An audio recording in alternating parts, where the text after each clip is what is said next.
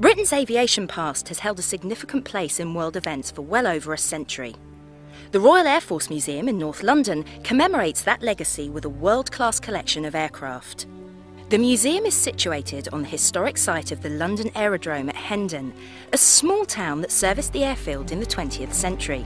You will discover an intriguing insight into aviation technology and those people that made it possible, including daredevils to early aviators, wartime heroes, and the thousands of ordinary servicemen and women whose contributions shaped the world we live in today.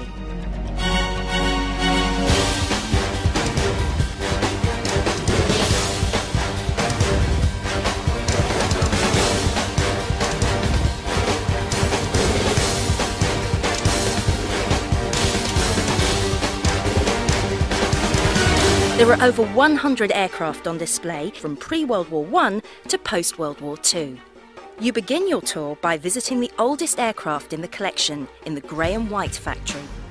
The Milestones of Flight Hall is a dramatic representation of the first 100 years of flight. The Bomber Hall is a favourite where you can get up close to the Buccaneer, Wellington and Lancaster bombers. The historic hangars section showcases whirling rotors, Southampton and the RAF overseas. The Aeronauts Interactive Centre's fun for people of all ages, as you'll find the physics of aviation very addictive. Then, for an in depth study of life during the 1940s, the Battle of Britain Hall has plenty of interesting facts to uncover.